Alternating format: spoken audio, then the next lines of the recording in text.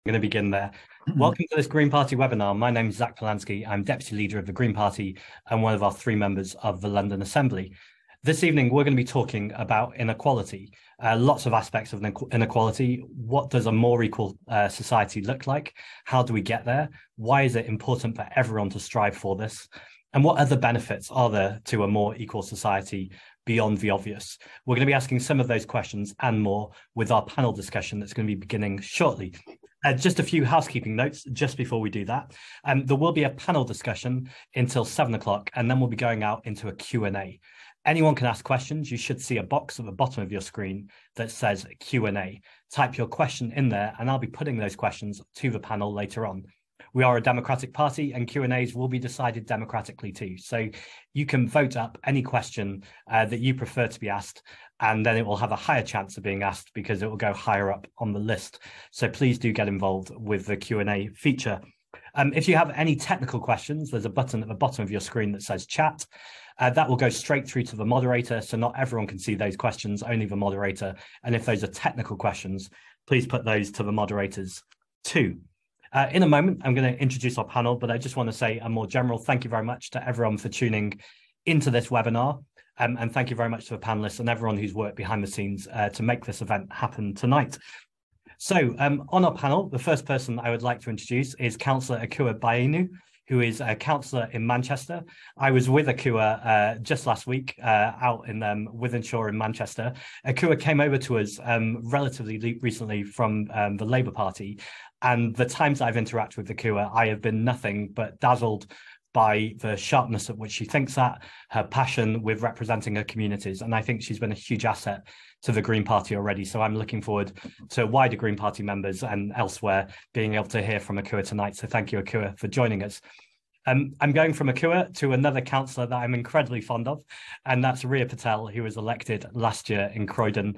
I have met people in the Green Party who I know literally joined the party because they were inspired by Ria's election in Croydon, and I think that meant so much to the people in Croydon and to the party more widely. So I sound like I say nice things about all of our councillors, but Ria and Ekua, I think, in particular, examples of uh, absolutely brilliant councillors that we have in the Green Party. So I'm stoked to have them on this call tonight. And the other thing they have in common is they are on the Deyika Fund board. For those who didn't know Deyika, uh, he ran for us in the uh, Manchester to be the uh, Green Party mayor of Manchester, and sadly passed away in 2017. A fund was set up in Deyika's name that is looking at people of colour uh, removing barriers for them to getting elected, both internally and externally within the party. We're talking about inequality tonight, and no conversation about inequality could ever happen without talking about racial justice, or more likely, racial injustice. And we want to do everything we can in the Green Party to remove those barriers. And we know a huge part of that is financial. There is a link in the chat. So if you are able to, please do donate to the Deyika Fund. I'm sure Ria or Ekua at some point this evening will talk about what the fund does but um, essentially making sure we're representing Greens of colour within the party. And then finally, keeping up with our fantastic guests, we have our final guest with us, who is Richard Wilkinson. Um, you might know Richard for lots of things, but my uh, personal knowledge of him was from the Spirit Level, which I believe came out in 2009, which seems a long time ago. For so many of us in politics, I think that really um, crystallized so many ideas that had already been floating around the air around systemic change and the benefits um, uh, from a more equal society. And so many of the themes we'll be speaking about tonight. Richard, though, also is an Emeritus Professor of Social Epi- Epidemiology, such a complicated word. Richard will have to correct me in a moment, I'm sure. He is co founder of the Equality Trust, and he wrote the Club of Rome report, which is from inequality to sustainability, which I'm sure we will be moving on to shortly. Um, so, if I can begin tonight um, with Ekua, the first question is about um, essentially what are the key drivers, factors of inequality in society today? Hi, thanks, Zack. And it's really good to be here actually with all of you. Um, unusually, I, I wrote an answer because normally I'm, I'm able to spell it out, but I've had a day. um, but I think I can actually talk about it. So I really wanted to go quite far into history in terms of where I think uh, the way society is currently constructed, and that is to look at the impact of colonialism and imperialism on the way, and actually even prior to that, because a lot of the methods that were, were exported through uh, colonialism and, and, imperialism were actually developed uh, here in the UK in terms of the exploitation and submission of work of working people. Um, but I think if we're going to really understand how human beings are manipulated to actually engage in oppressive practice we i think it's a good place to start in terms of looking at why there was a need to create um, uh, and, and other uh, other people in order to maintain the power dynamics that we have in society today. So I look to the impact of colonialism on Africa, particularly. That's where my roots come from in terms of my political understanding. And I am I'm here, I'm here as a councillor, but I guess I think of myself predominantly as a political being, but as an activist. Uh, and my training was in the All African People's Revolutionary Party, and it really looked at how society is shaped around gender and class and nation. Most people say race, but we are, after all, if we don't start believing in ourselves as a human race rather than all these divisions, so nation, I would put it, and it and how that embeds in people's thinking so that actually what we get to is an almost poor point and i think this is still really prevalent that actually the issues that imp- oppress people people have deep in their heads have been trained to think it's based on some um, measure of inadequacy in those people so that people don't have decent housing because they come from the wrong class or the wrong cultural background. It's somehow their fault. They don't have they're not they don't succeed in education. They don't you know they don't get good jobs. And if we have that as a starting point which dehuman de humanizes a whole sector of society so that actually rather than looking at how inequalities are actually created we make them the responsibility of the most oppressed. Um, and i so for me it, there is a lot to be gained at how how that came to be why was that the message why it serves capitalism and and doesn't serve people. And there are some there are some innate i think misunderstandings that come from that as well. So i mean I believe in Darwinism, the survival of the fittest, but it's capitalism that teaches us that that is the survival of the fittest means the most aggressive, the most able to work in the market, the most sort of forceful. When actually, in reality, if we look at society, the most fittest are those who are most able to collaborate. So there are lots of messages that we have that have come from colonialism that really impact on how we move forward. So I, I really just wanted to lay that foundation uh, down before we go into maybe looking at the more recent examples of, of the factors impacting on inequality. Thank you, Ekua. You really hit the ground running there. There was no warming up. You were straight in there with, with the, the big headlines. Thank you. Um, Richard, we put in the chat um, some of the work the Equality Trust do so people can sign up to the mailing list. Ekua has clearly laid out lots of themes there, particularly the, the problems with capitalism. And from your point of view, how much of this is a key factor, and what other factors are there to in inequality? Well, I think that uh, material differences have always been absolutely key. I think uh, that uh, we have a tendency, when I say we, I mean the vast majority of uh, humanity, to regard uh, people and groups of people as inferior if they have lower living standards I think that was really important in colonialism. Uh, different ethnic groups were regarded as, as clever or not according to their living standards, their technology, and so on. I think we do that in our own society. Uh, you know, the sort of prejudiced idea that the poor are poor because they're lazy and stupid, all that kind of thinking uh, is because material standards are so fundamental. Uh, and as material differences uh, within our society gets bigger, so does the uh, tendency to, uh, well, so does uh, the, the, gender and ethnic uh, pay disadvantages. Um, more unequal societies overall are also the societies that have uh, bigger ethnic and gender um, inequalities. Um, I think this is very fundamental to human beings. Um, and of course, the society where societies where that didn't happen are the hunting and gathering societies of our prehistory. Um, but as soon as which were extraordinarily egalitarian, But as soon as uh, there starts to be inequality and possessions are seen as a mark of status, we get into all the problems that inequality generates.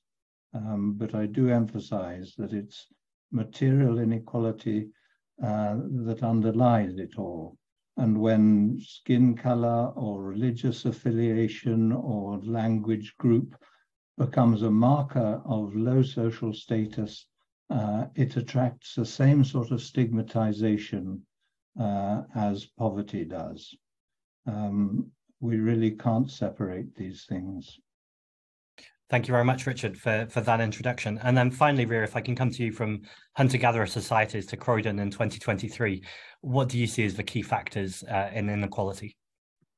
Yeah, so I think we've touched on a lot of different topics already. it means to unpack a lot of what we've started to discuss. But um, following on from what Kira was saying about colonization and the impacts of that, I think the impacts of uh, kind of splitting society into two different groups of one kind of being higher than the other is replicated still throughout the world today. And um, whether that's in things like uh, the waste system is something that's very on my mind currently as Croydon's going through it's kind of a waste uh, change in waste services, but the waste system and how the UK exports waste to so many global majority countries, creating another kind of two-tier system of con- within countries t- to this day um, is just one example of how kind of we're continuing to reinforce these colonial ideas. But this kind of idea of creating two kind of sets of people, two groups of people, with some being higher than others, is replicated throughout all different protected characteristics. Um, that being kind of race, age, disability, gender, um, gender reassignment, um, yeah, to continue. But I think there's lots and lots of different drivers of inequality, and a lot of them being material. So things to do with, um, for example, uh, wages, minimum wage um, not being increased with inflation, um, increased kind of things like part-time contracts or minimum hour contracts, um, things like um, removing of workers' rights or lower kind of employment protection and things like taxation and creating loopholes for those who are earning more um, to kind of get away with not paying as much tax. Um, but that's very economic focused. But then there's also things to do with health and um, things to do with living conditions and things to do with skills and education that you can think about. Like rising higher education costs and all of these different things create a system or society that we live within that um, is unequal and unequitable um, i'll leave it there for now Thank you, Ria. That was really helpful. Um, Ekua, I'm, I'm going to come to you. And um, really, it's two questions. One, just to see if there's anything you want to respond to that's been said already. And then to move into that none of this is academic. You campaign and work within your local community. What are the effects, the tangible effects of inequality on local communities? Yeah, um, I, it's interesting. I'd, I'd, I'd quite like to address the point that Richard has made, which is which I don't disagree with in terms of material difference, except that I still think we're looking at history through a through a modern and particularly Eurocentric lens. Um, in that there ha- the, the um, the wealth and the technological de- development, particularly in Africa, has been written out of history, so that um, that even those countries that identify based on lines drawn, created by boundaries by Europeans, will hang on to the notion of kings and queens, whereas it is known that uh, kings chiefs were not they they they weren't inherited positions. They weren't attached to wealth. In fact many societies it meant that you couldn't actually own wealth if you were going to have that person. There was an understanding of that egalitarian but it didn't actually mean that hunting hunter gatherer was the was like as far as it, got. You actually had quite advanced technically advanced communities oh, yes i agree entirely. Um, it's just sometimes it can you it, people will hear what what we've been taught. So I, I, I just wanted to make make that point. Um and i think particularly for african heritage people and that there has been such a distortion of our history that that it it, it does it feels like um we're taught to believe that every technological advancement came out of a very Euro- European Eurocentric way. So I just wanted to address that point. So to the other point, in terms, I think you're very much asking for me as a councillor. So that's how as how I was addressing it in terms of uh, as a councillor, I do casework. Uh, it's it's the most efficient way that individual residents can come to me with issues. So I can definitely say that 85% of my casework at the moment is taken up with housing. Um, it's it's uh, both in terms of the condition of housing, um, mold, damp. You know, it, obviously it's been highlighted in Greater Manchester. We have Rochdale, uh, and um, uh, sorry, I've got it written here so that I would be really clear. Um, you know, the case of the young child who was um, who died, basic, basically uh, on the conditions of the housing, um, uh, Awaab Ishak's death. It's not isolated. You know, poor housing conditions, overcrowding. And it's like, I always say it's like Victorian conditions, but the poor house is now temporary accommodation, which doesn't work. And still, and actually it's, it's like social and, and affordable housing is just not my administration's priority because if they'd followed their own how their own policy they would have been bringing that into into place so i've got families of six or eight in two bedroom accommodation with damp and mold and a lot is in the private rented sector but also in social housing which i recognize as being under attack. But it's like how to address that? It's like we don't have we, there is nowhere to put people. And the, actually, recently I've come across a council officer who is trying to address the question, which is why are Black people, and by that she'll mean uh, people of African heritage, in the worst housing in Manchester? Um, and that is a really important question because that absolutely reflects my experience. The other things is that communities with what I call cultural connection to each other are hardest hit in terms of short-term accommodation because they're being offered housing miles away from a central community support and they don't want to take their children from the schools where the, their peers look and sound like like like them to schools where maybe maybe maybe only one of a handful of black students and no black teachers. Um, and actually education is another hugely important part of where i see uh, inequality uh, happening in the communities that I serve. We've got things like police in schools and the campaign to keep police out of schools, not in terms of them having a pastoral role, but actually being brought in to create discipline within schools. We have joint enterprise, the attacks of young global majority children in schools. It's it's documented. People are aware of it in terms of these big, these big awful cases, but actually it's regular, it's ongoing. It's just like, you know, um, it's it, it's it's prevalent. It, the, the big cases only highlight what is underneath huge amounts um, in terms of the, the impact on on the most oppressed communities. And um, I think the other one is around employment. Ria started to mention it around zero hour contracts, around you know the, the which communities are having the most unstable um, employment.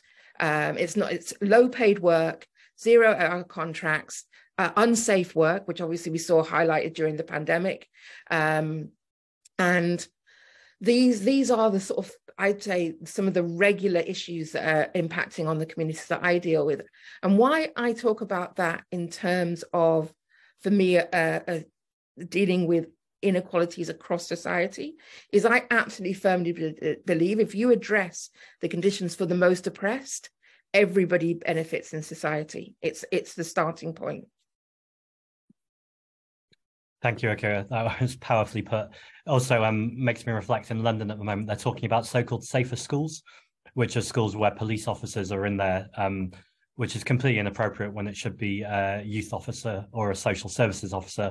And too often, the cover for austerity is to demonize uh, communities, and far too often these are ethnic minority communities where young people are caught with cannabis, for instance, and then given a criminal record as opposed to given help and support or seen as, as public health. Anyway, I'm chairing, so I shall stop getting involved. Uh, Ria, can I ask you um, uh, the same question? When you're uh, campaigning and when you're working, what tangible examples do you see of the impact of inequality on local communities? Mm, I think this is such an important question because it is so vast and broad, and inequality impacts all aspects of people's lives. Um, housing definitely comes up very frequently as well, similarly um, to. In terms of my casework, people the housing wait lists are really, really, really, really long, um, and people just can't afford to be waiting that amount of time, but are having to because there's no other alternative for them. Um, and whilst waiting, they're living in overcrowded situations, as has already explained. Um, you briefly began to touch upon kind of police there, and I did want to also bring up stop and search. Um, that's something that's really been impacting people, especially young uh, Black people um, within Croydon. Um, there's a kind of uh, increased use of stop and search uh, amongst this population when it's not necessarily the most effective way to be tackling the root causes of the issues. Um, as you were saying, kind of things like social workers or youth workers and being able to assist the person from a more holistic perspective rather than criminalizing or demonizing them um, for a, especially when it's a minor incident um, or minor um, crime in comparison to something that's really harmful or hurtful to wide range of people um yeah in, instead of kind of uh, criminalizing and using those types of powers on reasonable grounds which is questionable um yeah we could be being a bit more proactive and supportive towards our younger people um using a more joined up approach of multiple different um groups, including things like caseworkers, social workers, um, hospital kind of health workers, um, schools, you know, educating teachers, not allowing police into our schools in the first place. Um, there's also issues around um, kind of social care more broadly, I think, um, and people accessing social care and the wait lists in that sense. And um, not hearing back from officers can be quite an issue um, a lot of the time in my casework. So people will contact the council, but then won't hear back from them in a while. And when you're expecting people who are disabled to continually chase the council for something, you're putting an additional pressure on them. Um, so thinking from my perspective as someone with ADHD, um, for me to continuously chase um, for a GP appointment, which is something I've been trying to do for a really long time, get a GP appointment. Um, it can be quite challenging because you've got to remember to chase for the GP appointment that you need. And that can be an issue specifically for people with ADHD to remember that. Um, so that's just one example of something infecting me, but that's much broader within the social care system.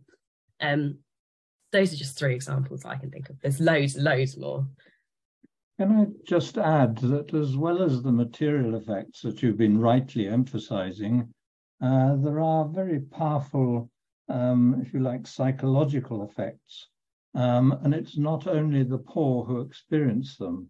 Uh, there are now good studies that show uh, everyone from the poorest tenth of the population right through to the richest tenth feel more status anxiety, more worried about how they're seen and judged, more worried about issues of superiority and inferiority. Um, and that undermines people's feelings of self-worth. Uh, it weakens community cohesion. People are less likely to be involved in community life in more unequal societies. Uh, violence increases. Uh, people trust each other less. A whole range of, of things like this get worse along with the things uh, that you've already been describing. Thank you all very much. I'm going to come back to you in a moment, Richard. Uh, just to remind anyone watching at home that you can put your questions into the Q&A and I'll be asking them at the end of the panel session, uh, which will be drawing to a close at seven. There's already some great questions in there, but please do add them. Also, I just want to acknowledge how grim some of this conversation has been already. And of course, it needs to be grim because we're talking about inequality, but we are a party that offers hope. We're going to be moving to some of those hopeful solutions in a moment. And I don't mean that in a glib way. These are deep rooted systemic issues that it's going to take a lot of time to challenge. But I do think the hope and the light is that we're a party that are looking to challenge them. Um, Richard, we often talk as a party that there's no environmental justice without racial, social, uh, and ecological justice too, and economic justice too. Sorry. Um, how can we make sure that green initiatives uh, benefit and don't harm poorer communities? Uh, well, I think actually the, the question as you uh, gave it to us um, in, in, the uh, outline beforehand is gets the issue rather the wrong way round. Uh, So it's not just a matter of ensuring a greener future is a fairer future. We won't get a greener fu future without a fairer uh, uh, without a fairer present. Um, it's important to recognise uh, that we're unlikely to reach carbon neutrality and uh, sustainability without much greater uh, equality. And we know that the, the super rich, um, well, the rich in general, are responsible for vastly more of the carbon emissions than poorer people. And if you have uh, policies that uh, disregard that, um, uh, uh, impose taxes like, for instance, President Macron tried in France with a, a fuel tax, uh, people will regard it as unfair.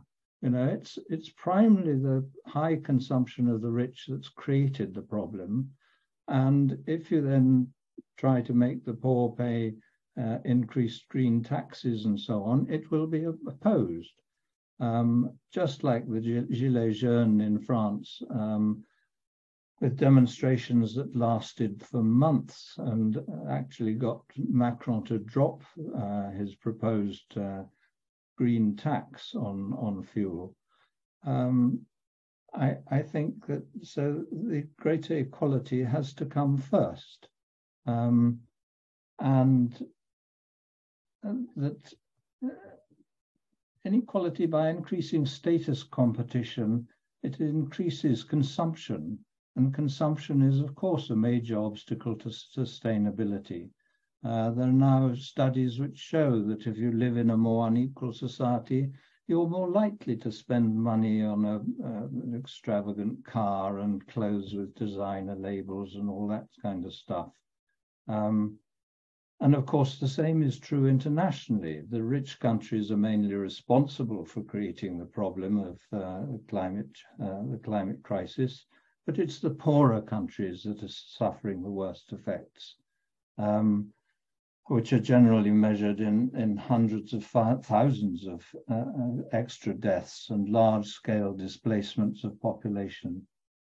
Uh, low income countries may not be willing to pursue greener policies unless the richer countries provide the, the proper funding for the loss and damage fund uh, which uh, they promised to do in 2009, um, but they still haven't uh, funded that uh, up to the extent of $100 billion a year that they said they would.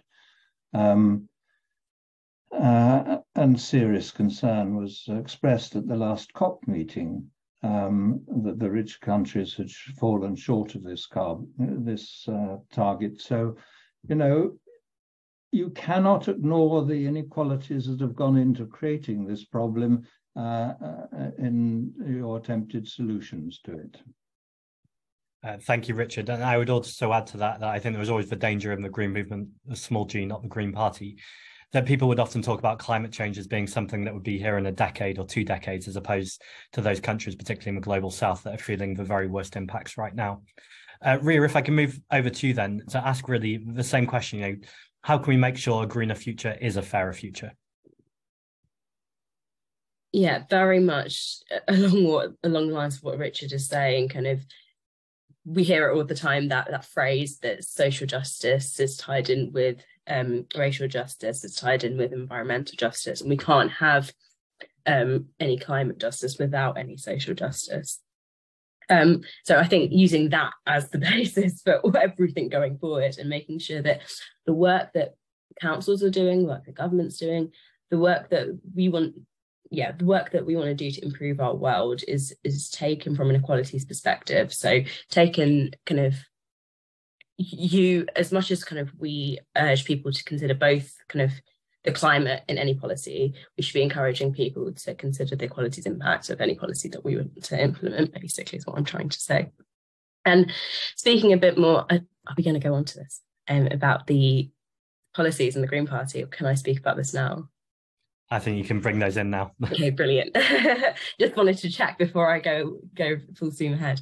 Um, yeah, so in the Green Party we have some wonderful policies. So in I think it's 2020 when in October, we passed our reparations um, motion um, calling for the Green Party to call on Parliament to establish an all-party parliamentary commission, kind of, the inquiry for truth and reparatory justice. Um, we were, calling for the government to commit to a holistic process of atonement and reparations in, in accordance with the UN, the United Nations framework for reparations.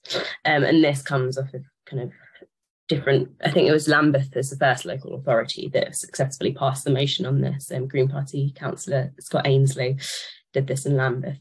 Um, and there was also one in Bristol as well, proposed by Cleo Lake, um, who was a councillor there. Um, there's there's policy more broadly as well that I'm really proud to have contributed to in terms of the LGBTIQA plus um, policies that we do have, recognising, for example, that trans parents should be recognised as their gender on their child's birth certificate, which currently isn't always the case, um, ensuring that um, non-binary people are uh, recognised as their gender, um, looking into things like protecting um, the self-determination um, and pushing for self-determination of gender. Um, we were very um, one of the first few parties, at least the first major political party to include that as a policy.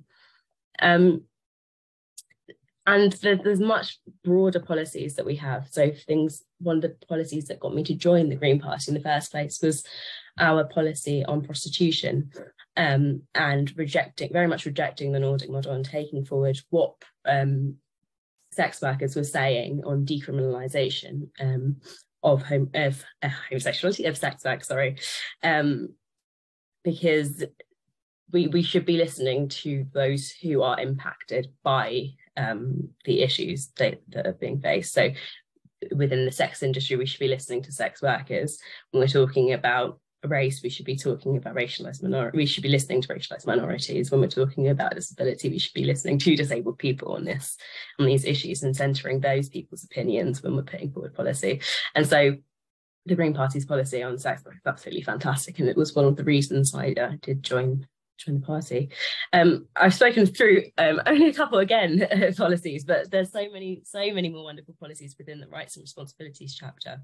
Um, it is going through a rewrite, rewrite as well um, to be, make it a bit more cohesive. Um, but I would recommend reading through it if you haven't um, already, and I can see if I'll put it in the chat. Thank you, Ria. And why Ria is setting up the transform- transformational change that we want in society and why they uh, join the party. It's a good time for me to say if you want to join the party, gave me a great segue there. Please do join on greenparty.org.uk forward slash join. It's greenparty.org.uk forward slash join, and that link is in the chat. If you're not quite ready to be a member yet, but you'd like to be a supporter or a friend of the party, there's also a link so you can do that too. Um, Ekua, if I can come to you, I don't want it to be a meandering question, but we've heard lots of problems there are in society, and we've just heard some of the solutions and some of the future ideas going forward. I just wanted to see if there's anything you want to respond to, if you want to come back to that question as well around the greener and fairer future. Um, well, I, we, we, it's, it's, it's, great, so much coming in, but I, I, guess I wanted to pick up on what uh, Richard was saying, which I completely agree with, um, which is we aren't going to be able to address climate justice without everybody involved in it.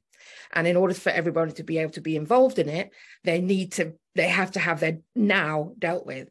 And I know that this was, so I can actually sort of speak to the point where my gaze shifted or my understanding shifted to really be more inclusive about climate justice. And then that was when I learned about the impact of um, climate injustice on Syria so we had this wave of Syrian refugees coming and this sort of, oh, why do we have to take them and all that stuff. And actually learning that the desertification of Syria was caused in the West by, you know, like the um, impact in terms of carbon production, which created uh, this desertification in Syria, driving people who had been happily living on their land, working well, into cities looking for food, shelter, um, water, and the government not having the resources to deal with this massive shift because it was just not, it was un- unexpected. They hadn't planned for it because they hadn't caused it either. It'd been caused in the West. Um, and then you had civil unrest, and then you had you have um, civil war, and then you get refugees, and they're driven to the West. We, we have Syrian refugees here and asylum seekers. And then what I realize is that we always have this mantra in terms of people from colonial backgrounds, which is we're here because you were there. And we've actually got a problem now, which is we're here because what you're doing here is impacting on there. And you're, you know, so that for me was like, okay, I, I can't just focus on the the um, equalities issue, I have to understand it from a climate justice perspective. So the, for me, that to go hand in hand, and it's also in terms of looking for like looking for a political home for a majority of people. So that what's happened is and i find that happens um, is that there is there's been a real push to sort of niche market. The green party is just about climate justice and to undermine and undersell how much and how important it is that we're about social justice. Um, so that is sort of addressing that in terms of i'm less going to talk about policy, but I suppose as a councillor, sort of the things that we might be doing is is motions. So we're this this council coming up, we're doing a rent freeze motion, an end to Section 21 evictions, actually being, and we get such a pushback. We have a, a majority Labour administration, and they're like, "What are you doing, getting out of your lane? What's that got to do with climate justice?" And it's like those things have to be they have to be united, but also because if we're actually going to find a way to a fairer future, we all need to be in and the green party has a role in that then we all need to be in the green party. We need to be talking. It's like with anything else. If we're not talking to people and engaging with people and giving, having people empowered within the green party from every sector of community we're not going to be able to find the solutions. We're not going to be able to even begin to envision what what a fairer greener society looks like unless we're all having that conversation. That's amazing. Very effective, uh, I hope we're clipping that, Ekua, and putting it all over the internet. That was very powerfully spoken. It also reminds me actually of one of the first times I really noticed the Green Party. And I know there's been people in the party who've been there decades longer than I have, but it was in 2015 at the um, election leaders debate where Natalie Bennett, our former uh, party leader and now one of the House of Lords, had a moment to speak and challenge David Cameron, then Prime Minister, um, and challenged him on the issue of refugees in Syria. And I remember that being one of the first times in mainstream TV that refugees had even been brought up as a subject. And it was that moment of realizing that the Green Party, that obviously care about environmental justice.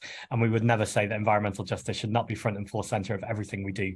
But inevitably, as everyone has put it really tonight, by talking about environmental justice, you're inevitably talking about the other things too, because the two things are, or all of the things are intertwined. Um, Richard, if I can come back to you then. So all of this sounds pretty obvious, actually, and I, I think when you could sit down with anyone and talk this through, you'd imagine they would go, "Yes, I want a more equal society." So, what are the obstacles? Why why is it not happening? Well, if you look at the long-term trends in inequality, uh, basically in in most of the um, richer countries and many others as well, inequalities were high in the 1920s, and they started to come down. I'll try and do it the right way around for you. Um, they started to come down in the 1930s, and we went on becoming more equal until the late 1970s. And then you get the modern rise of inequality, and we're back up to levels last seen in the 1920s. But that lowering of inequality uh, was the growth of the labor movement, the uh, increasing strength of trade unions, the fear of socialism, and so on, which was actually, uh, it sounds odd to say it, good for capitalism. It humanized capitalism to some extent. Um, and uh, then, of course, uh, with Tony Blair and so on, uh, the left lost its way. It forgot what it was about. Um, and of course, Thatcher introduced um, legislation to weaken trade unions um, and uh, um, privatization of public utilities, lowering top tax rates, and, and all that. So basically, you get this strengthening of the labor movement, strengthening of trade unions, which brings inequality down, and then all that is lost, and you get neoliberal ide- ideology under um, uh, Thatcher and Reagan. But behind those things, uh, the uh, and I'm tempted to say, as Marx says, the, the ruling ideology is the ideology of the, the ruling class, if you like. Um, and we've been persuaded that the people at the top are better than the rest of us. They argue that social mobility sorts the human wheat from the chaff so that people who end up at the top are superior to the rest of us. Um, uh, uh, and then you get, and there's lots of strands of this. I mean, Boris Johnson said that inequality is essential for the spirit of envy and keeping up with the Joneses. It's like greed, a valuable spur to economic activities. But uh, if you if you look at inventiveness, creativity, even commercially, patents per head of population, you find that the more equal countries are, are more creative, more innovative um, than the more unequal ones. Um, uh, and that's true on almost every metric. That equal, uh, more equal countries do better, whether you're talking about crime or, or violence or economic performance. It's the more equal countries that do better. Um, and then, you know, uh, uh, more on how we're sort of, I think, made to think that inequality somehow benefits us. Um, they convince us that top pay is high because talent is scarce and uh, CEOs to get the good CEOs for business, uh, you have to pay them these huge sums. But actually, there are studies that show that the companies with the highest paid CEOs do less well than companies uh, where CEOs are paid le less. Um, and then, uh, you know, we also have a, a, widespread belief that is really revolting business that, and still people doing research on it, trying to show that intelligence differences are genetic. Um, just as uh, um, you know, uh, as upper classes since the earliest societies have believed that the quality, the qualitative differences that account for people's class position. I mean, the Greeks believed that slaves had souls that were made of bronze instead of gold or something, you know. And the modern form of that is this continuing research on uh, genetics of intelligence. And it's a failed research program. I mean, only a couple of decades ago, they thought that um, they were looking for the gene for intelligence. Now we know there are thousands of different genes that affect uh, cognitive performance, and we all have some of them make us good at, well, I don't know, more spatial things or social things or whatever it is. Um, uh, and but none of us have all of them. we just have uh, many differences, and yet there is still that popular idea that the people at the top are there because they're better. Social mobility sorts us out. You know these prejudiced ideas that maintain inequality in our society. Um, so uh, I think we those are the sort of ideas we have to be working to undermine, to attack, to rid our, our country of. Thank you, Richard. That was a wonderful anecdote to um, Boris Johnson's metaphors about cereal packets and rising to the top, and actually just exposes what nonsense and dangerous nonsense that was and must always be challenged. Um, uh, we're going to start the Q&A in about 10 minutes time. So just a final call out. If you have any questions to put to the panel, please do put them in the Q&A. When I talk about voting questions up, you should see that there's a thumb by each question. If you would like to see that question asked, please do give it a thumb up. It will go higher to the list and it will be more likely to be asked. Um, Ekua, I'm going to come to you. Um, just to note that the audience at home can't see the chat, but I know that you wanted to talk about, um, in fact, Richard was just talking about prejudices and stereotypes in society. I don't know if you want to lead off from that. Yeah, and actually it's probably useful because I don't want to attack the individual who made the comments. But, um, and I suppose I also want to address what we would need to do in terms of the internal conditions uh, in the Green Party to make us more um, accessible to a wider community. So this is an example, um, and it's interesting because I saw. So the example I'm challenging is what are we going to do about corruption when we're talking about funding poorer countries? And I saw this wonderful um, thing from I can't remember the country, but it's a woman woman prime minister, and she said, "Why does it always go hand in hand when we talk about African administrations and the word corruption?" And because it's part and parcel of this sort of language that we have around um, the qualities that exist in um, certain communities. And it's embedded in our thinking. And I think if, if we have to look at ways of challenging that, um, of challenging that. And I have, I come from an arts background. Zack and I have that in common.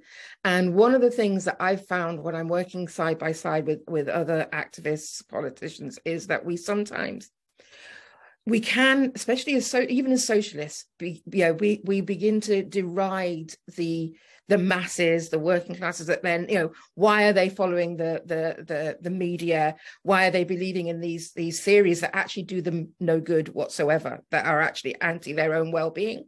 And I think we fa- we fail to really look at the impact of this system on individuals in terms of expecting them to come and be comrades with us.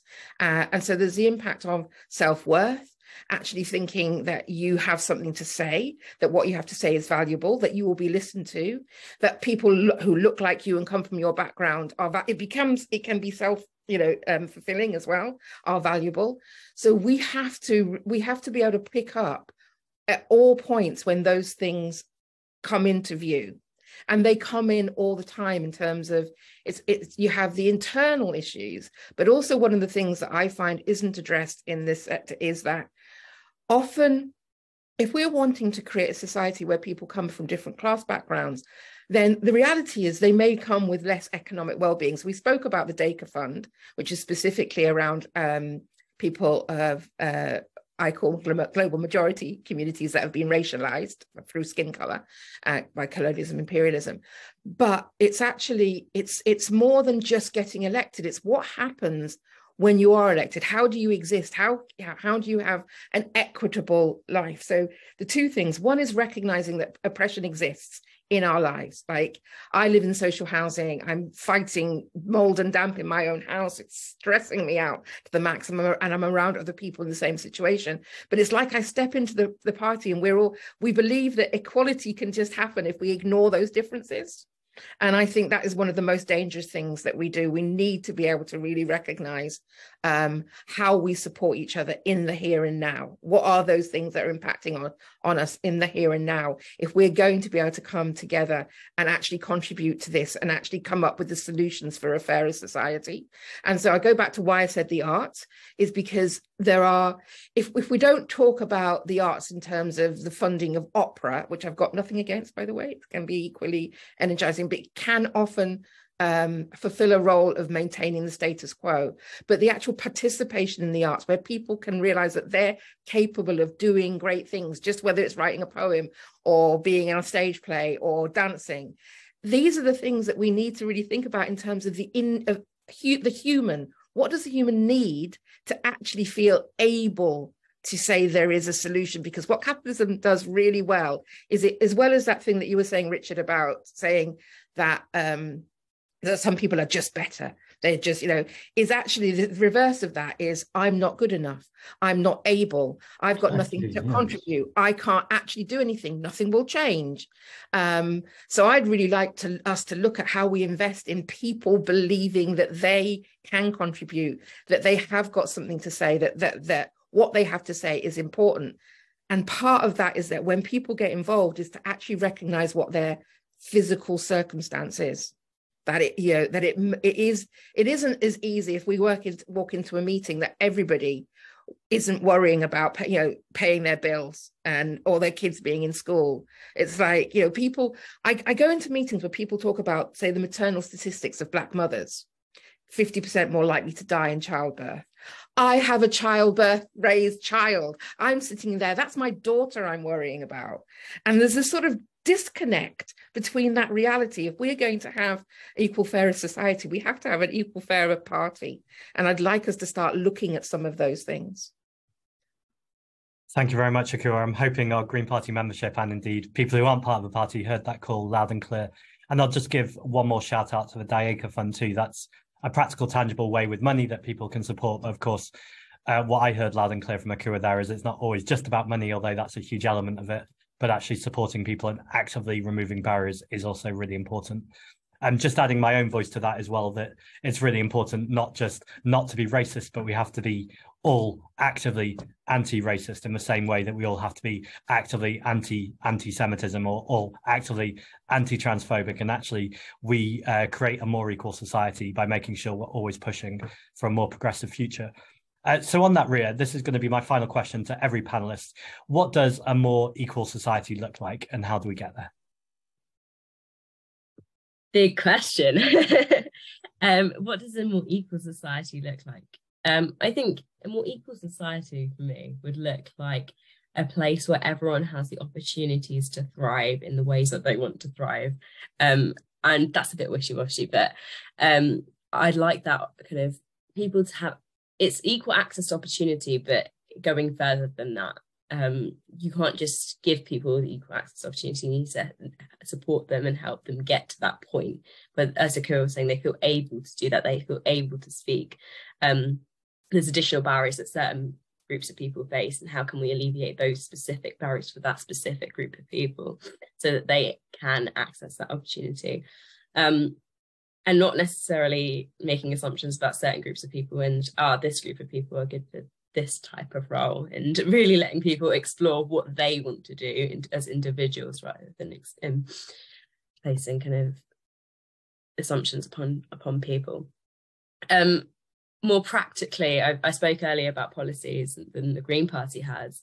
I think one thing very specifically um, that the greens have been really um, strong on um, especially during winter, was the warmer homes, kind of lower bills, and that leading to a safer climate. Um, and that really ties in kind of the social justice and the environmental justice elements together because by tackling things and ensuring that everyone can have a warmer home and lower bills, you're protecting the climate at the same time. Um, so calling for things like retrofitting and um, heat pumps and insulation from the get-go um, ensures that the most vulnerable people are protected and you get warmer homes. Um, and that means that kind of you're you're seeing less impacts in terms of health inequalities but also less income being spent on on energy. And so you have other income disposable for other things that you want to invest in and it, it's a knock-on effect in terms of you're starting to invest in things like um, more renewable energy like offshore wind and solar and reintroducing that into the the, the kind of feed into the tariff um, at a better rate um, and then things like a longer term policy of carbon tax, all of those things together help to create a more um, environmentally just and socially just um, world. So when we're looking at our policies, I think we need to take this approach in that yes, what will the impacts be for the environment, but also what will the social impacts be, and how can we reduce any um, inequality that's being caused by the policies that we're putting forward? Um, and that needs to be embedded within each and every policy. Thank you, Ria. That can't be more timely as well on the same day the United Nations IPCC final report before 2030 said this is humanity's last warning and we've got to make sure we're tackling the climate and ecological emergency while making sure we're protecting people from the cost of living crisis. Richard, if I can come to you, uh, so the same question there. What does a more equal society look like and how do we get there? Well, I, I think I should admit I've spent the last 50 years sitting in front of a computer, um, unlike uh, Ria and Ekua, who've been out to talking to people. Um, but uh, the, the research we've done shows that and basically what we did was look at the amount of income inequality in different countries and compare it with all sorts of other uh, social indexes. So, for instance, you find and now, there are now hundreds of studies showing this that more unequal studies have much more violence, um, more homicides, um, and that's true um, of domestic violence as well against women. Um, people trust each other less. Community life is weaker. uh, the whole society becomes more antisocial. People become more out for themselves, as I said earlier, because everyone is more worried about uh, status and how they're seen and judged. Um, what inequality does is make money, class, and status more powerful. Um, so, for instance, whether your parents' income makes mu much difference to your life course, uh, it does, it makes a huge difference in more unequal societies. But when you look at the, the much more equal countries like the Scandinavian countries, your parents' income is much less important in determining where you go in society. Uh, so, uh, and if you look at much more un, unequal societies than we we included, um, and the most unequal societies in the world are places like South Africa and Mexico. And there it's gone a whole stage further. You see, there's not only more violence and people trust each other less and there's weaker community life, but people are are actually afraid of each other. They put bars across their windows and doors. They put razor wire around their gardens' fences. Um, and uh, they think it's unsafe to go out at night, all this kind of thing. Uh, and I may say that uh, South Africa and um, uh, Mexico are very unequal for quite different reasons. But if you look at the other side of this, at what makes for happiness and well being, you find that the quality of social relations is absolutely crucial. How many friends you've got, whether you're involved in community life, these are the real determinants of happiness. It's the social environment, the quality of social relations that really matters. Um, and uh, it's there that inequality does its worst damage. So it really undermines the quality of all our lives. Thank you, Richard. And I think that's a really interesting distinction you make between academia and being out there on the ground and, and community campaigning. But I, what, I would say as an elected representative and someone who's out on the ground is the work that you do and other academics and researchers do is what helps us build the argument and the data to be able to get that change. So um, I know you weren't discrediting your own work, but I think it's always important to say, you know, everyone has a contribution to, to this work and it's important we're, we're not in our silos. Um, Ekua, if I can come to you finally, then before I come to the Q and A, just for that final easy question, um, what does a more equal society look like, and how do we get there? It's interesting. I really had to take myself to hand because it was the question I found most difficult, and that is partly because facing oppression almost becomes habit. Um, so more recently i've spent most more time outside of my political life exploring this um, but with other um, community activists who are exploring system change who are um, yeah exploring sort of shifts in power um, through doing things very differently. And a big portion of that has been around um, looking at what it is to be healthy now. What do we need right now to be healthy, to be happy? Um, so it's interesting what you were saying, Richard, about what the statistics show you, um, and how to do that right, right this now, right now within the state of society and the world is quite a challenge. But it's like if we can't, if we can't really begin to envision what a fairer society is. We're not going, it's, it, there has to be that light. We have to know what we're moving towards. So, some of the things for me, I think really practical things is the idea to break the idea that it is essential for our well-being to be at work five, six, seven days a week is is sort of built into this system because actually the, that's the best thing because our labor isn't actually for us and our own well-being our labor is for profit. So we need to sort of have be convinced that this is for our own good that we slog out hours and hours day after day after day. Um, so i'd really like to start looking at how to bring unions on side with the idea of the same pay for less less hours in work. And that needs to be looking at an investment of what else do human beings relish doing that's not about working? Because there's this whole mantra around um, work being, you know, good for our soul. It comes from a sort of very Euro Christian, I think, perspective on the sort of the, the the the work and what does work mean if it's unattached to other people's profit which for me is really important um i i'd have i mean for me to try and look at a world without a, you know oppressive thinking whether it's racism gender sexuality gender assignment um it, it is is really interesting. Uh, interesting is not the right word.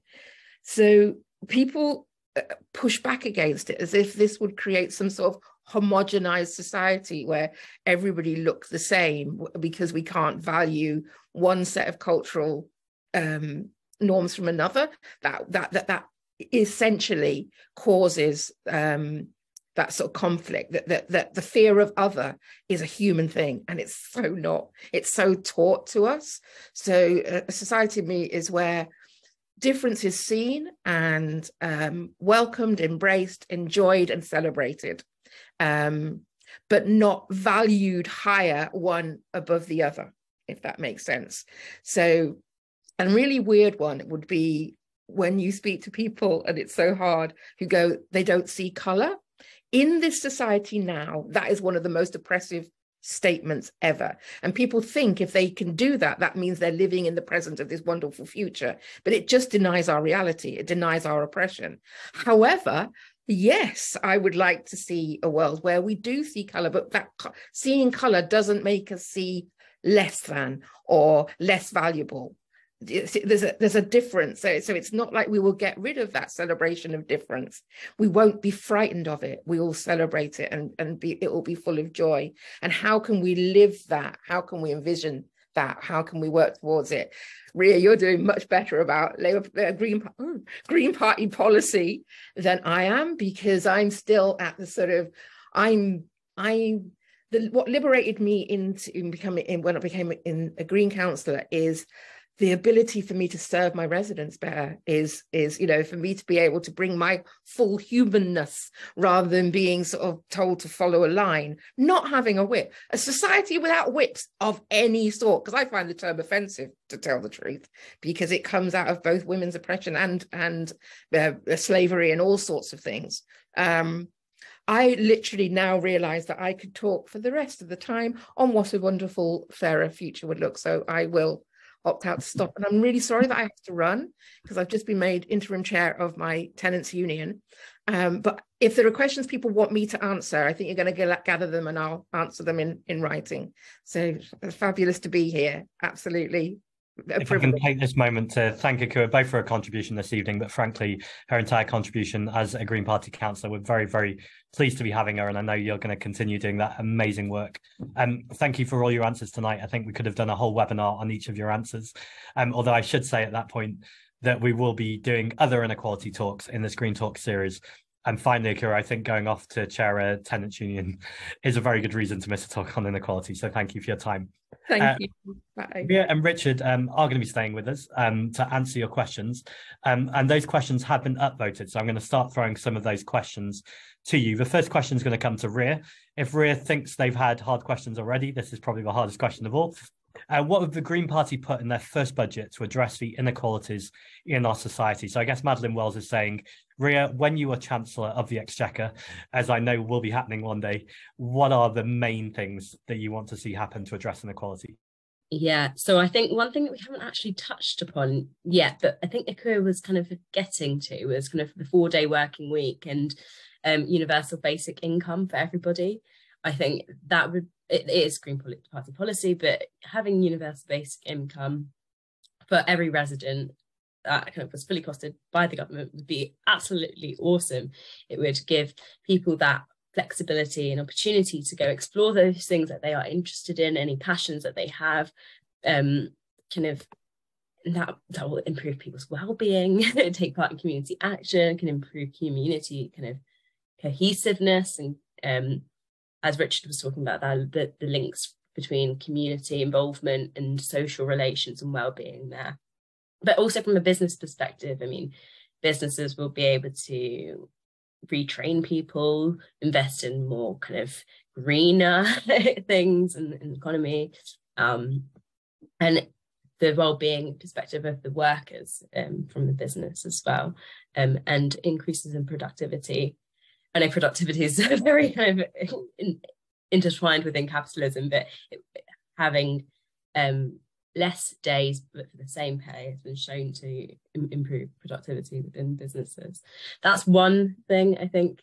Um, another thing I would like to see is proportional representation. Um, I think that would give people the ability to feel like their voices are being heard within politics, which is very difficult in the current voting system where it is first past the post. Um, and um, meaning m- making it so that everyone's voice is heard within politics gives people more power um, in what they want um, in politics so that they are more represented. And then politicians can actually act based off of what their residents um, want to see whether that's in local politics or in government. Um, so those are two things that I'd, I'd put in um, from the get-go. Um, but the the whole rights and responsibilities chapter as well. I was thrown in um, as well. Yeah, I'll leave it there. Thank you very much, Ria. It sounds like a, a, much better future. Ria also talked about proportional representation and universal basic income there, which is like Green Party bingo. I'm going to come to Richard in a second. I'm just going to ask Dominic to pop in the chat. I'm doing a self plug here, but I do think it's important. In London, I'm working really hard on a universal basic income pilot, I managed to get London Mayor Sadiq Khan to agree to a pilot in principle. And what I'm working with at the moment is engaging Londoners or any community to check one, that they actually want it, and two, that they're involved in the design. I think within this whole conversation, it's really important that when we do consultation, we don't tell people how we want a fairer society to look like or work like. We actually make sure people co-design what a future society would look like. So that's work I'm looking to do in London that's just been popped in the chat now. Thank you, Dominic. Um, Richard, I'm going to come to you. I don't know if you want to talk specifically on universal basic income or budget or respond to anything Ria said or to answer the question. What I think the Chancellor should be doing. uh, I do think that um, taxes have to be made progressive again. I mean, as recently as the 1970s, might not seem recently for some of you, but for me, 1970s is recent.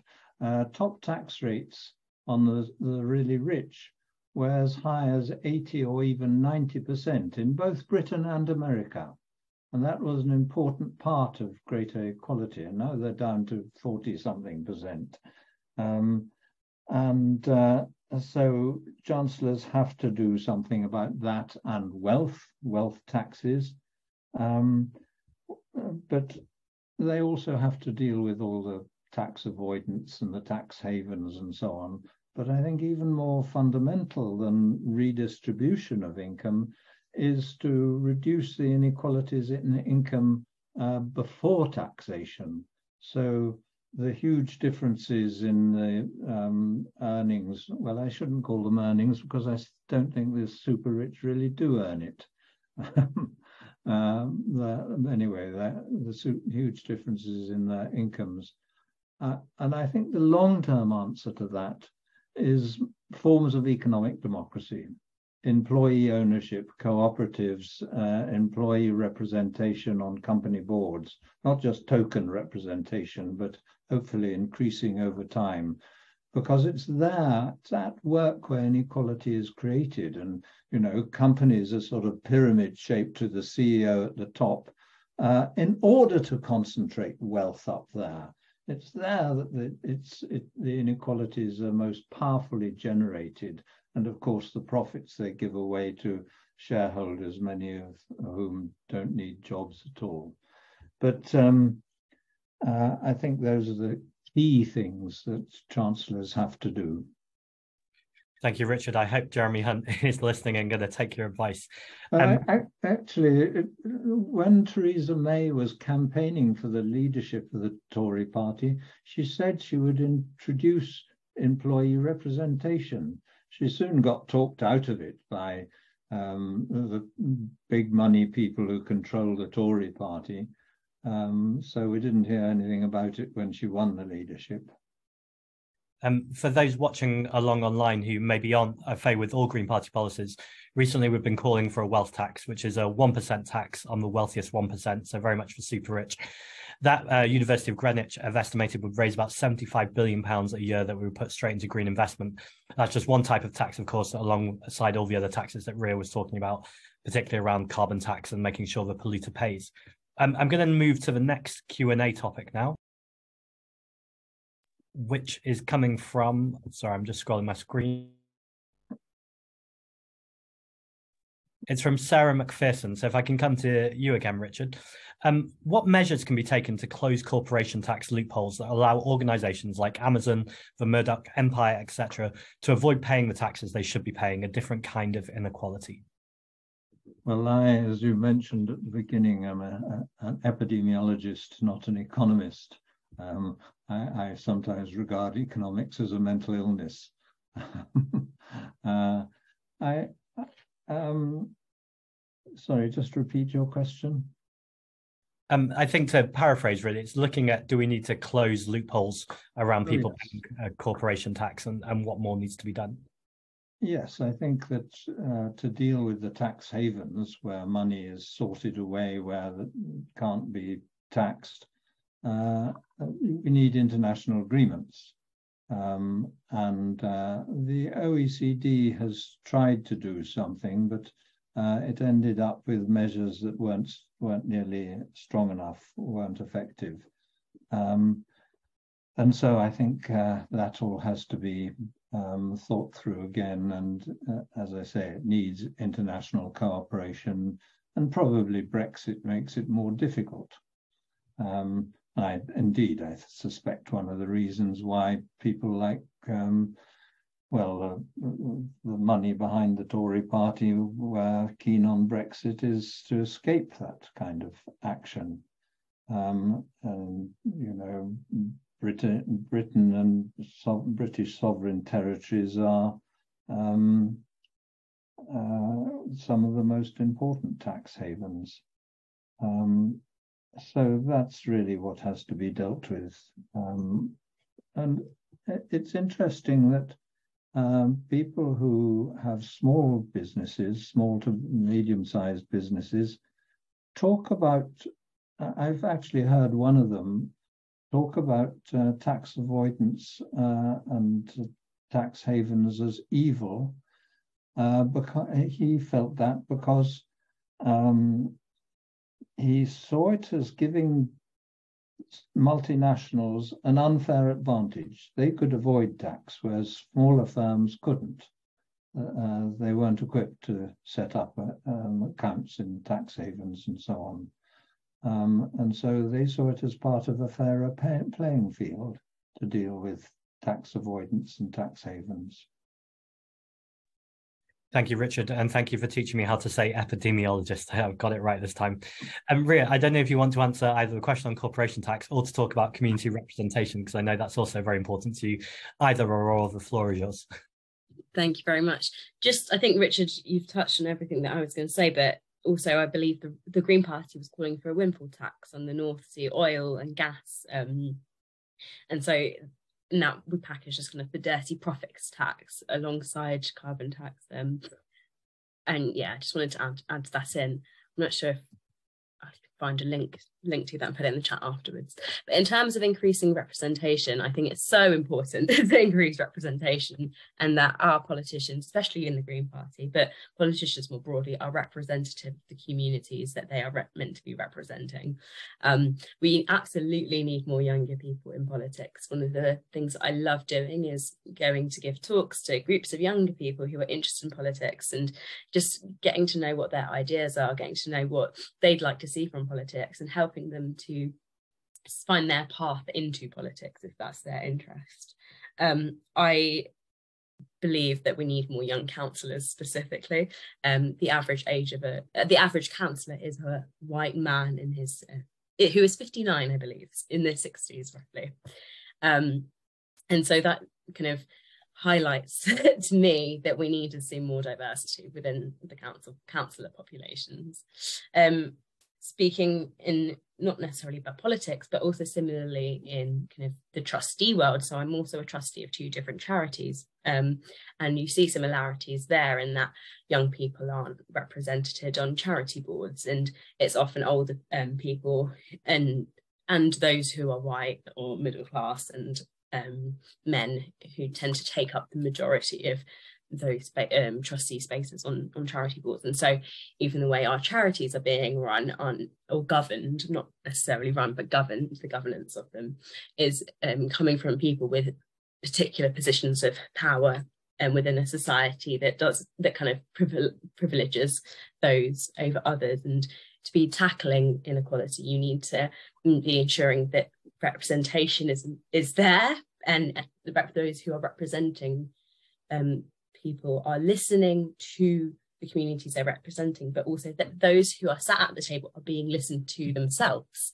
Um, I've had various um, uh, challenges um, having been elected where I've been sitting at the table, I've been saying something and no one's listening to me, but then someone will make the same point and be like, and, and everyone will be listening to them. And I, I was just sat there like, I just made that point, did I not? Um, and so yeah it, it is that kind of two-way communication between communities and the the elected representatives but then the elected representatives ensuring that they are being listened to by those who are in administration or by those that they are lobbying um, I've spoken very much about young people, but this extends um, to those with other marginalised characteristics. Um, so within the Green Party, we all know that we need to be doing better when it comes to disability, when it comes to race, um, and ensuring that we are getting more people of colour elected. And that brings us back to exactly why we've got the Dacre Fund and um, to ensure that we are supporting financially, but also emotionally and kind of through peer support, um, councillors um, and prospective Greens and Colour candidates who are standing in elections. Um, and finally, I will just say that we do have separate candidate funds from different liberation groups. Um, I believe the the deadline's probably closed for these elections coming up in May, but every year various uh, liberation groups set up a candidate fund where candidates can apply for some extra funding to kind of support their campaign. So LGBTIQA plus Greens have theirs. Uh, I believe the Dacre Fund has theirs. Uh, Young Greens have theirs. And um, I hope to see more liberation groups setting up these funds going forward. Thank you, Ria. That was brilliant. And just to add to that, because there's a few hundred people on this call, and it's always good to be able to advertise these things that we have a strong Young Green Party movement uh, within the party. You can find them on Twitter or Instagram at Young Greens, and also the Green Party Trade Union Group as well, who are doing lots of brilliant work in these spaces, as well as the organisations that Ria spoke about or campaign groups. Um, we're coming up to near the end of our session now, so I'm just going to ask a, a, final question to to each of you. Richard, I'm going to go down the list and ask one that wasn't straight at the top, but just because I think it's a, an interesting question to finish up on. It was from Peter Mortensen, and he's essentially talking about those countries like Denmark and Finland, where people generally are happier and seem to be more equal societies. And his question was essentially, why is the UK not doing more to model themselves on those societies? But I, am wondering if you want to broaden the question even wider and ask, if we did take some of those policies, would we be looking at a more equal society? Um, well, why we're not like that is because we've elected the wrong government. um, but uh, Yes, uh, I think there's no doubt that um, more equal societies have higher levels of well-being. Um, and I think if you pursue, and there are endless different policies that improve uh, equality. Uh, it's not only um, things to do with redistribution, of, as I've said, but also how companies uh, run. Um, and uh, uh, uh, uh, uh, it's clear that that is the basis of why the Scandinavian countries do better.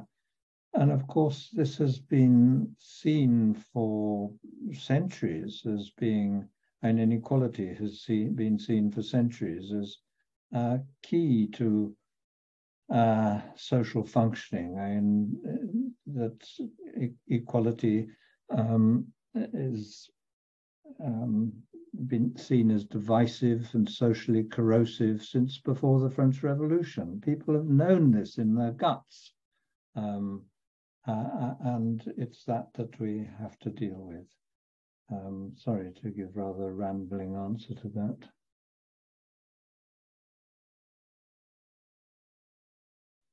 If that's you when you're rambling, Richard, then you're doing okay because it sounded like a very strong answer to me. Um, so, Ria, my final question to you comes from Philip Davis. Um, how important do the panel think getting Greens elected from a range of areas and backgrounds across England and Wales is to helping to close the incredibly high levels of regional inequality we face in the UK? For example, we currently have 34% of children in Wales growing up in poverty, but very few of our elected MPs or Senedd members in Wales grew up experiencing these conditions. Yeah, absolutely. I think it ties into my uh, the what I'm saying earlier in that it's absolutely fundamental that we have people representing the areas. Kind of re- our representatives need to reflect the areas that they're representing. Is what I'm trying to say. Um, and so we need to be actively seeking out these people. They may not already be party members, they may just be green aligned, they may be community activists, but we need to be keeping an eye out for these wonderful people who are doing such grassroots um, campaigning and proactively reaching out to them and, and asking them to stand as a Green Party candidate for us. Um, and I think and encouraging as well our members who who are more marginalized um, but might be active might need some encouragement to become more active um, within local parties and I think there needs to be a bit more of a supportive system within local parties to, to help alleviate some of the barriers that these people might be facing. So, for example, you may have a wonderful can- prospective candidate who um, is disabled um, and may have some trouble being able to walk and deliver loads and loads and loads of leaflets. And so setting up a team to support them to deliver the leaflets while they get on and do other things is a way to get rid of that barrier. Um, similarly, you might have a wonderful person who may not be as confident um, speaking in front of loads of people at hustings, for example, but giving them some training and support um, on how to speak confidently in public um, in front of people, giving them some support and understanding Green Party policy on contentious items in the local area um, are all things that can kind of help improve someone's confidence and encourage them to stand um, and kind of create a more level play- playing field for them. Um, this needs to be happening well in advance of uh, the nominations coming in and because when you're asking someone from a more marginalized background to stand, you often need to take a, a. It takes a couple of tries, so you won't get them on the first time. At least um, when the person Peter Underwood was encouraging me to stand as a councillor, he did not get me on the first time, um, and he had to keep coming back and trying and persisting. Um, but through that trying and persisting in various conversations, answering all of my silly questions about what it's like to be a councillor, um, I thought, actually, yes, this is the right decision for me, and I'd love to be able to represent my residents. Um, and so it can be quite a journey, but being kind, understanding, and persisting um, can get you wonderful candidates that are representative of, of the areas, and that's what, we need to be seeing more of.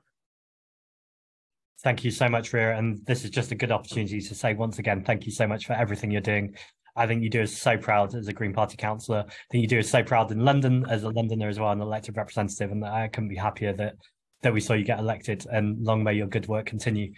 Um, Richard, I'm just going to come to you finally then, um, especially because you said you gave a rambling answer as your last answer. So it's just a final opportunity. Is there, is there anything you think we should really know, or, or any call to action you want us to hear? Well, I, I do think that we need to understand that inequality is not just about poverty.